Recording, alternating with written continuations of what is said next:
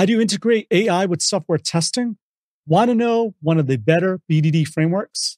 And what tool just ranked highest on the Gartner Magic Quadrant for application performance monitoring and observability? Find out in this episode of the Test Guild News Show for the week of July 16th. So grab your favorite cup of coffee or tea and let's do this.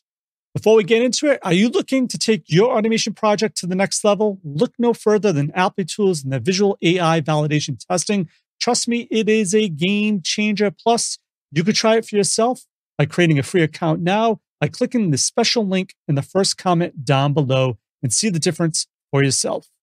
First article comes your way via Sabat, who's a software engineer, and he discusses the implementation of a page object model I think is really going to help you with your automation. So this post actually covers implementing the POM design pattern with an object repository that I thought was interesting. So in the post, Sabat emphasizes the importance of POM in enhancing the maintainability and reliability of automation code. He goes on to explain how each web page or user interface UI component is represented by a separate class called a page object, which encapsulates the elements and behaviors of the corresponding web page or UI component. He also demonstrates how to store UI locators in an external JSON file acting as an object repository. And this is used to separate code interactions with UI and locators. It also provides an example of how to add locators for various fields. And this post also serves as a valuable resource for software developers and testers looking to improve their automation codes, maintainability, and reusability. Definitely something you should check out, and you can find it in the first comment down below. Also, Jason Arbon is back on the show with even more AI automation awesomeness. So in this latest blog post, it's called Testing Bolt On AI.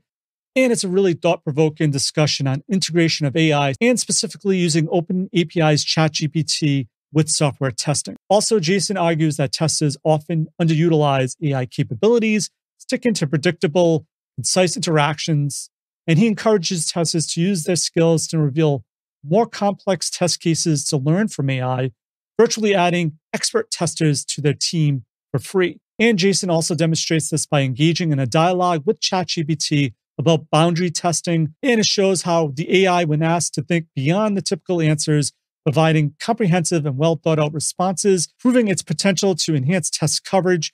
Jason also concludes by arguing that testers give AI the same opportunities to explain, elaborate, and iterate on a topic in conversation just as they would with a human colleague. Speaking of AI, I have a free webinar you should check out that's going to help you with generative AI. So, this is a webinar I'll be hosting next week, and it's with Todd from Reflect. And it's going to be a demonstration how generative AI can revolutionize the way we build test software. This webinar is going to focus on Reflect's integration with OpenAPI's ChatGPT, which allows testers to write tests in plain English and have them automatically executed. And the session is going to cover two key use cases enabling test teams to practice behavior driven development without the need for underlining automation frameworks or restrictive Gherkin syntax, and avoiding flaky tests by using AI assisted targeting to locate elements on the page. And it's going to happen on July 25th. You can register now using the link down below, and I hope to see you all there. All right, speaking of Gherkin and Cucumber, I actually have an article on a framework I think you should learn more about if you're not using it already. And this is by Enos, who talks about a recently published article on API testing with SpecFlow. And so this article takes a deep dive into using BDD with SpecFlow, and particularly in the context of API testing. And despite initial skepticism, Enos found that Gherkin styles test with the given when then structure and natural language syntax really turned out to be an incredible, useful way, especially for testing APIs.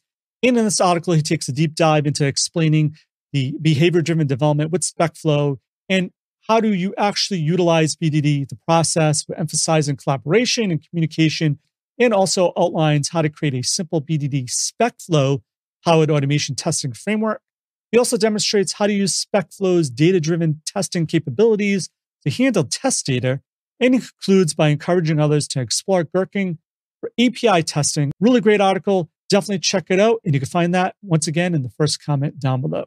So, who are the leaders in the Gartner Magic Quadrant for 2023 for application performance monitoring and observability? Well, I found one of them on LinkedIn, and this was posted by Larbi, how New Relic has been recognized as a leader for the 11th consecutive year. And this article goes over how the company attributes this recognition to its commitment to data accessibility, actionable insights from different data sources, and cost effectiveness, and also support for open telemetry. And it offers five key points that make a difference, like the unified full stack observability platform is able to automatically correlate all telemetry data sources to improve operational efficiency and provide actionable insights in context throughout the DevSecOps cycle.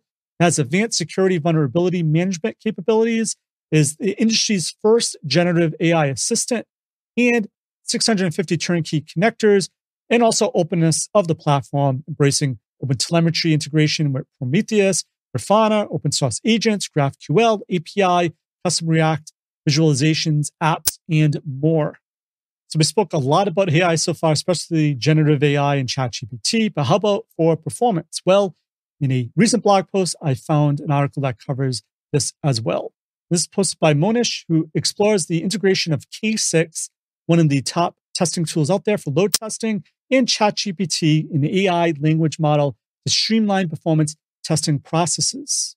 And this article really takes a step by step guide approach on setting up K6, generating automated K6 scripts using ChatGPT, interpreting test results, and, and how to export results in preferred formats. He also demonstrates how ChatGPT can be used to automate the generation of K6 scripts, saving time and effort. And it also discusses the importance of understanding the interpreting test results to optimize application performance.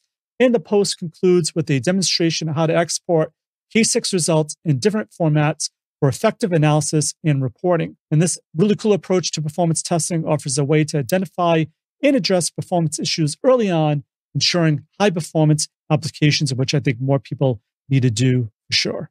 And besides performance testing, I think another testing technique more folks need to get into is chaos testing. And so I found a resource for that as well. So this article goes over the concept of chaos testing, which is a methodology designed to improve system resilience. And the author explains how chaos testing, which involves injecting controlled failures into a system to identify potential weakness, differs from traditional testing methods. And it includes some of the benefits of this approach, like improved system performance, increase end user satisfaction, and enhance architecture design.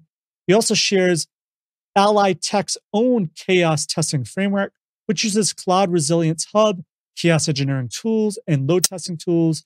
And the framework combines performance testing and chaos engineering to assess the impact of system failures on user experience. And the article concludes by emphasizing that chaos testing, just like performance testing, is not a one time activity, but a continuous process vital for maintaining resilience and reliable systems. And believe it or not, Taylor Swift is back in performance news. She brought down another ticket sale operation for Ticketmaster, this time in France. And what does it mean for performance engineers and testers? Let's find out. So, Taylor Swift's latest tour ticket sales in France has been temporarily halted due to technical glitches in Ticketmaster. What happened is the issue prevented users or fans from logging into the website, which affected sales for Swift's concerts in Paris. And this hiccup kind of recalls the initial sale of Swift's tour in the US, which also experienced delays and cancellation. And so they obviously didn't really learn from that first experience they had in the US. It really underscores the importance of rigorous stress testing and capacity planning to ensure systems handle peak loads, especially during high demand events. It also highlights the need for effective contingency planning and clear communication with users in the event of disruptions. And by learning from these real world scenarios, developers and testers can better prepare their systems for future challenges and maintain a positive user experience even under demanding conditions. And it also highlights, as we talked about earlier, performance testing, resilience testing is not a one and done activity. It needs to be constantly done to make sure that the user is always getting the best experience. All right, for links of everything of value we covered in this news episode, head on over to the links in the first comment down below. And while you're there, make sure to check out our awesome sponsor, Applitools, free account offer, and discover how to take your automation testing to the next level, leveraging visual AI. So that's it for this episode of the Test Guild News Show. I'm Joe. My mission is help you succeed in creating end to end full stack pipeline automation awesomeness. As always, test everything and keep the good. Cheers.